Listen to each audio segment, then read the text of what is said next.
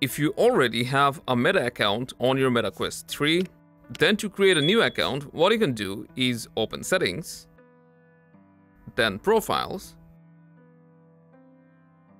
select Add Profile from the top right, and enter your email address that you want to transform into a Meta account. After that, open Mail on your smartphone or desktop, open the mail from Meta Horizon, and tap on Continue.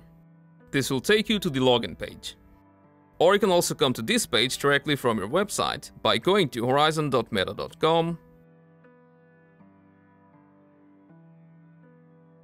Then either choose your account that you're already logged into or select continue with email. Now put in the email that you want to transform into your Meta Horizon account, hit next, and now we'll need to choose create new account. Then just enter your name, tap on next, and also put in your birthday. After that, we will create a password for our Meta Horizon account. Then you'll see the overview of all the infos you have given. To confirm, you'll need to tap on Create Account. After this, a confirmation code will be sent to the email that you just used. So just jump into your mail app, find the mail, enter the code here and tap on next. Now we can start customizing our Meta Horizon profile.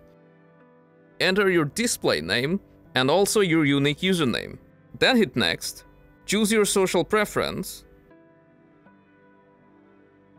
then select agree and continue. There you go, you have successfully created your Meta account.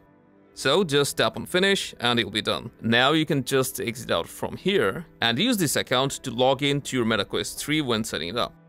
And in case if it's your second account that you want to add to your Quest 3, then you must have already sent the invite link. So just go to your mail, tap continue on the invite link,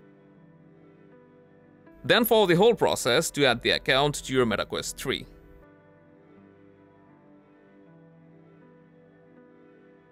Here's the new account that we just created. That's all. Hope you found this useful, and I'll see you in the next one.